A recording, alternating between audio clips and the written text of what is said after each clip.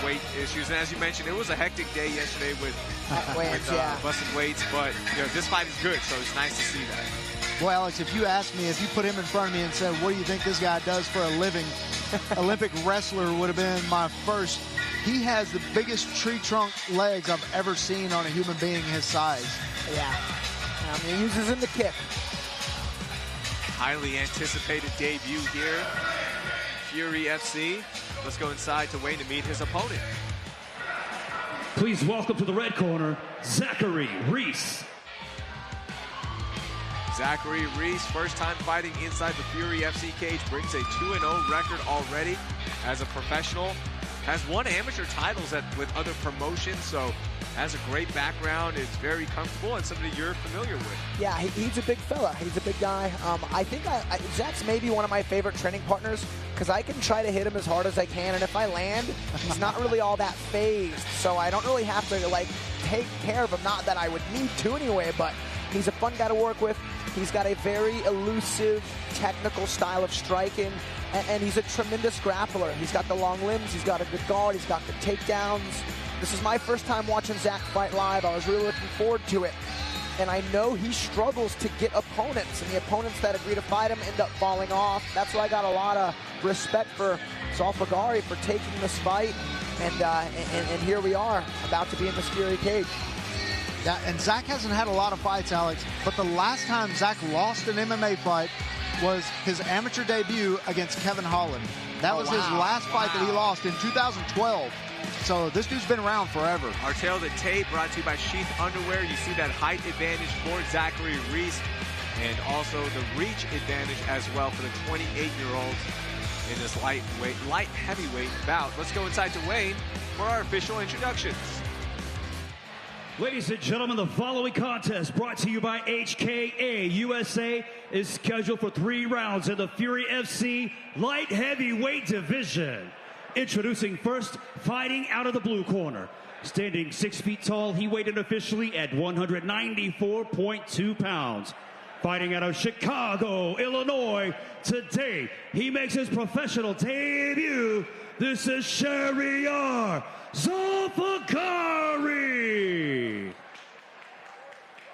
And introducing his opponent across the cage, fighting out of the red corner.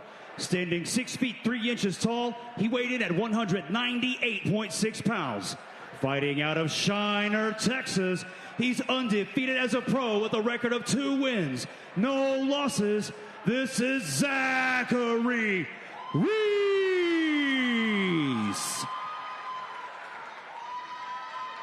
Your referee in charge of the action, Professor Joe Solis. Man, two different body styles, body thick for Zolfagari. You see Reese with just 6'3 frame. This is going to be a fun matchup. Oh, big oh. shot already from Zach Reese. And Alex, interesting note about Zach Reese. All of his fights, amateur and pro, are first round finishes except for one. And it was the second round. Man, notice the poise and patience. I mean, he really landed a good strong punch. Good oh, uppercut from Zach. Zolfagari just eats an uppercut there as he makes his way towards Reese. Good knee there from Zach. To the left elbow, and he lands it. He's going to go over the top with the right elbow. Uppercut. Ooh. And how much more damage can Zolfagari take? With Professor Joe Solis going to step Yeah, in. that's That is it. it. That fight's over. That is it. The Savage. Zachary Reese with the big time finish here at Fury FC 71. Man, congrats to Reese. That was, I mean, he just he was just precise with his elbows and knees and strikes. And for Zolfagari, a lot of times in kickboxing, they usually spend the first round to find the range and get their reads. But man, Zach started strong and landed a big right hand. And man, that right hand just really set the pace. You see Zolfagari drop to that man for fighting this monster of a man in Zach Reese. But it was these uppercuts that I think they damaged the nose of, of Zolfagari there. And huge shots. Joe Solis gave Zolfagari every chance to recover, and Zach was just on him. Anyone watching at home, That's a killer instinct with some real thought and fight IQ behind it. Zach didn't empty the gas tank. He wasn't just throwing the throw.